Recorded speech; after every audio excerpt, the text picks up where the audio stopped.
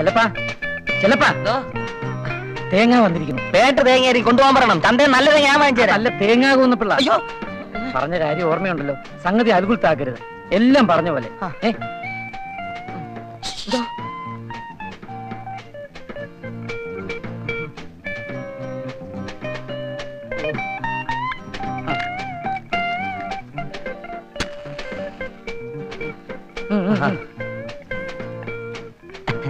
Hello.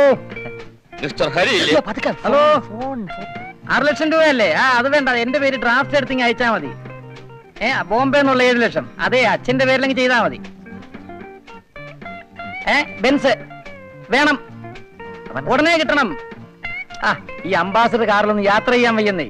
അതേന്നേ. അത് ഞാൻ ആ ബെൻസ് കാറിന്റെ കാര്യം തന്നെ പറഞ്ഞത്. അത് ഉടനെ അങ്ങ് എത്തിക്കണം. ആ ശരി. വെക്കട്ടെ.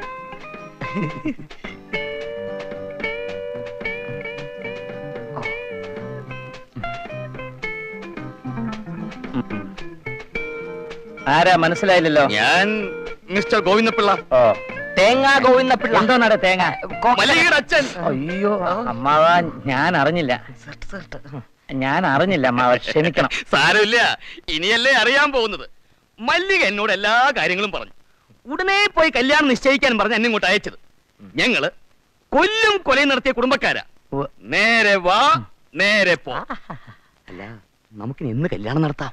എത്രയും പെട്ടെന്ന് നടത്തണമെന്നാ എന്റെ ഒരു അല്ല അതിനു മുൻപ് അച്ഛനെയും അമ്മയും അറിയിക്കണ്ടേ? ചോ, അവിടെ ആയി കുഴപ്പം.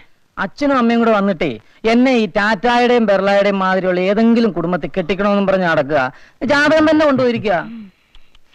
പക്ഷെ ഒരു കാര്യം. ഞാൻ ഞാൻ മല്ലികയല്ലാതെ വേറെ ആരെയും ഈ ജീവിതത്തിൽ കല്യാണം കഴിക്കാൻ നിർബന്ധമാണ്. അപ്പോ ഇനി എന്തോ ചെയ്യും? ഓ ഇനിയിപ്പോ എന്തോ ചെയ്യാനാ? എത്രയും പെട്ടെന്ന് കല്യാണം അങ്ങ് നടത്തണം. അപ്പോ അച്ഛനറിഞ്ഞാലോ? ആ, കല്യാണം നടന്നു കഴിഞ്ഞാ പിന്നെ എന്തോ ചെയ്യാനാ? ഇനി അഥവാ ചെയ്താൽ തന്നെ സാറിന്റെ ഷെയർ മാത്രം ഒരു കോടി രൂപയുണ്ട് അറിയോ? അല്ലേലും കല്യാണം കഴിഞ്ഞാൽ എത്ര എതിർപ്പുണ്ടെങ്കിലും സഹിച്ചല്ലേ പറ്റൂ. പിന്നെ നിങ്ങൾ അങ്ങ് സ്വീകരിക്കും. ഞാനാണേലും അത്രേ ചെയ്യൂ. അല്ല അല്ലേലും ആ ഒരു ധൈര്യത്തിലാ ഞാനും കല്യാണം കഴിക്കാൻ തീരുമാനിച്ചത്. ഉം?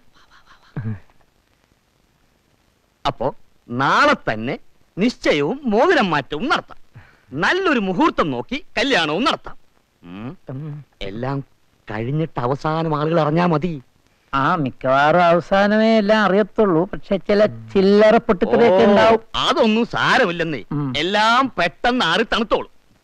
അമ്മാവന് തീർച്ചയാണോ? Sugar sugar